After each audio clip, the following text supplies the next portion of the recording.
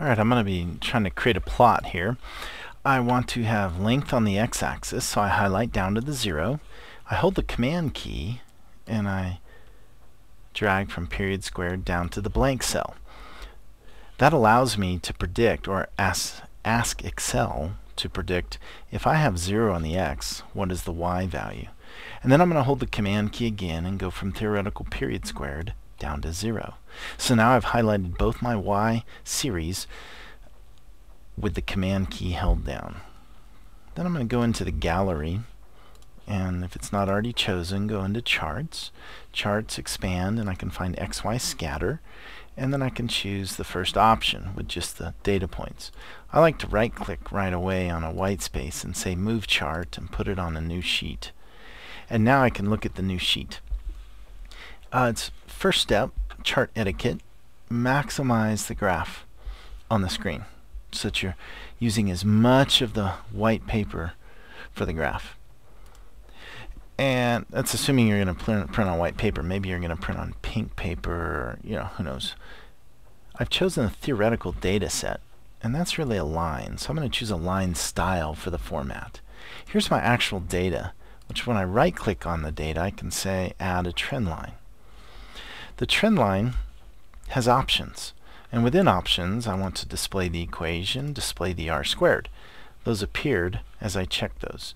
You can see how linear this data is. It's actually quite amazing.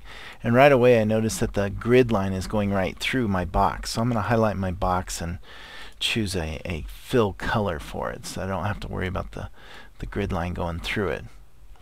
Now the y intercept is, is of interest in most experiments, but in this particular experiment there's an x-intercept down here somewhere, and that's of much more physical interest. So I want to ask Excel to show me that x-intercept. As I move my mouse around you can see that it's near to the trend line, so I can right click on the trend line and choose, let me do it up here, right click on the trend line and choose Format Trend Line. Under Options, I can forecast it backwards. Now, this version of Excel has a bug. If I go back by 0.5, well, nothing happens. Okay, that's, that's just a bug in this version of Excel. So I'm going to go into Format Trend Line, and I have to go backward by a whole unit before the, the backward um, forecasting, excuse me, works. But there's a problem now we have exaggerated our scales. So we want to change our scale values for the x and for the y. So I'm just going to double click on these scale numbers and then go into scale. And for the minimum I'm going to set it to negative 0.1 I think should be appropriate. That looks good. And then for the y I'm going to double click on the y scale. I might go negative 0.3 yeah that's actually looking pretty good now I'd like a text box to talk about the x-intercept. So I'm just going to draw my text box and say x-intercept yada yada yada. You know, I'm going to type something there. I want to give my box a line. And I probably want to draw a line. I like this tool. Down to this x-intercept and put it up on my box there. And then maybe make my line a little bit thicker. And I'm just showing you some of these tools here oh I forgot. Line color. Oh, let's make it blue. If you don't have this toolbar right here you go up to the view menu toolbars drawing and that toolbar allows you to make all these things.